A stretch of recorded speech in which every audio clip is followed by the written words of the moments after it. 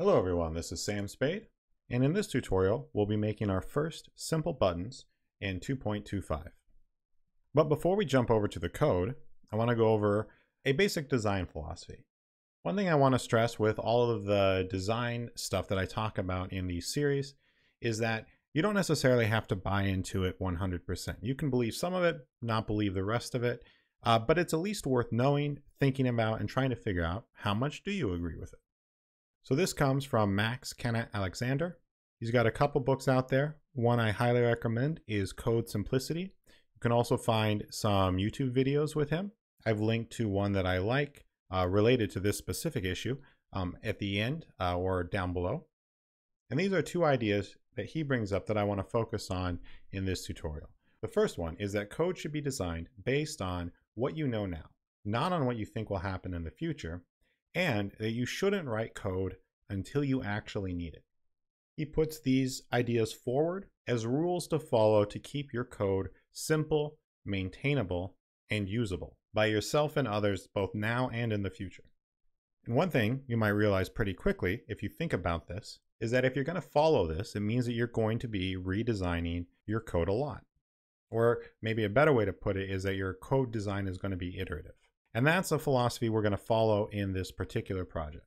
So we want to create a very simple button. And a button can be defined as something that you interact with. And when you interact with it, it does something. So let's jump over to GameMaker Studio and make a button. All right, before we get started, let's go over some simple project setup here. All I've done so far is I've created one room and named it RM main. And then I've added two sprites, sprite background main, which I'm using as the background for this room. You can see right here. And then I added sprite button, which you can see here is just a square, uh, 100, 100, uh, pure white with a center origin. The room dimensions are 400 by 600. And we just have the two layers, instance and background. And that's really it for setup. Now let's make our first button. We're going to create an object and call it obj button. We're going to give it our button sprite.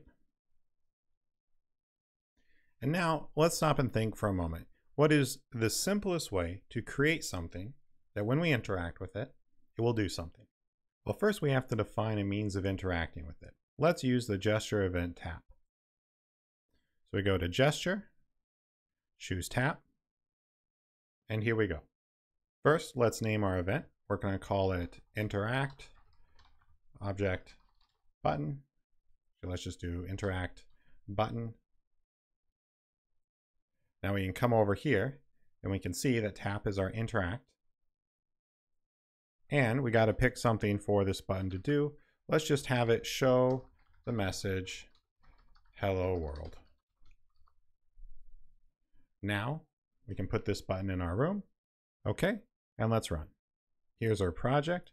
We're going to tap and we'll show the message hello world, which I mistyped uh, slightly. Let's fix that. Over here. There we go. So now we have created our first very simple button. And I actually think that it's worth stopping for a moment to diagram out what we've done.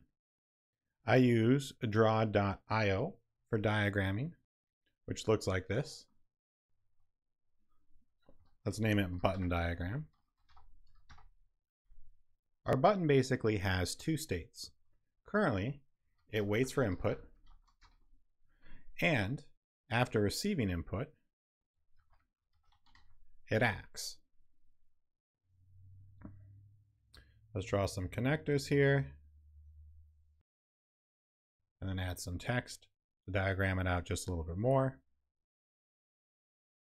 And when it's finished doing whatever it's supposed to do, goes back to waiting for input.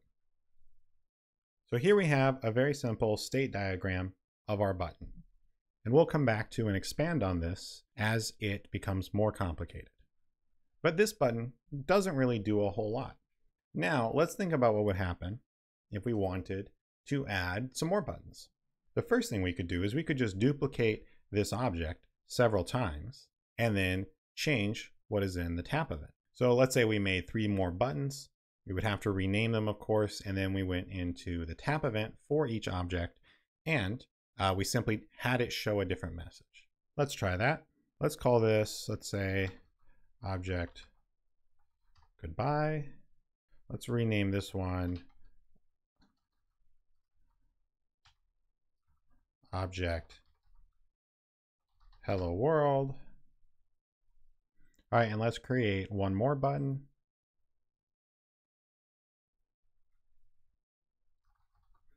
Object, let's say, how are you? Now, we're going to go into each of these objects. I'm going to say, so this is how are you? Let's say, how are you?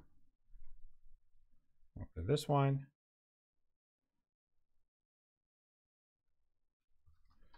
Goodbye. Now we come over here. Let's add each of these in and run it.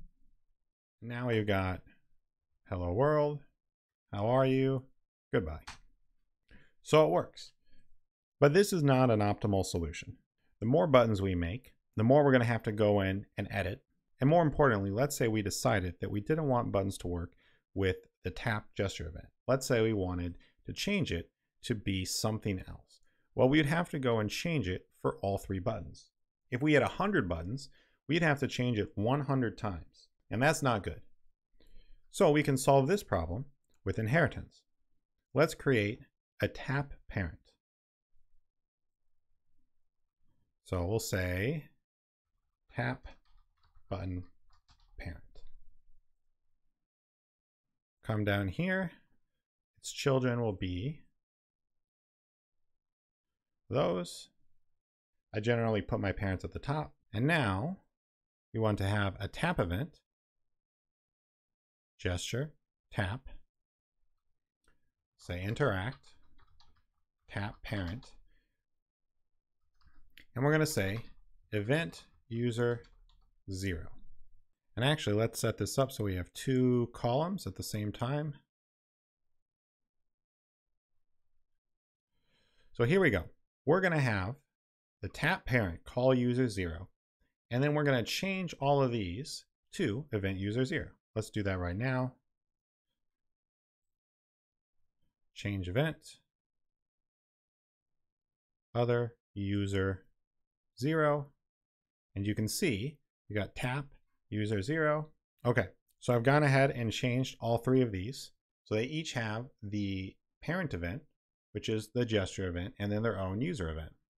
We can come over here, we can see that now this is event user zero for each of these, and the tap parent will call this event user zero. So if we were to run it again, everything still works.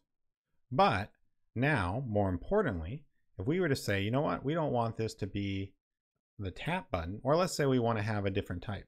Let's duplicate this Let's call this double tap button parent. And now we can change this to change event, gesture, double tap, and name it double tap. So as you can see, these are the same, but they use a different interact. And if we were to come over here and put all the children over here now, You'll see they're no longer children of tap button parent. We could run it again. Now, single taps don't work, but a double tap will. And we could easily switch any one of these parents to a different one. And now this would work with tap again. And now the thing you might notice is that we've got some buttons down here, but there's no way to refer to all of these with a single line of code like you might want to if you were going to activate or deactivate some buttons. And there's a simple way to solve that problem as well. We're going to create one more parent. We're going to say button parent, drag it to the top, and we're going to say that your children are the two tap buttons. So tap and double tap. And here we go. We can see their children and now we have a basic structure that we can build on as we go forward. And let's take a moment to diagram this out as well. I'm going to use some faux UML here. Give me a moment to redesign this and make it look a little bit nicer here. So here we have our final inheritance structure. I'll try to make it look prettier at some point, but I think this will work for now. We have our button parent. Then we have our tap button and our double tap button, both of which inherit from button parent. And then they each have their own children. And it doesn't really matter how these are ordered because the point is we can switch these around.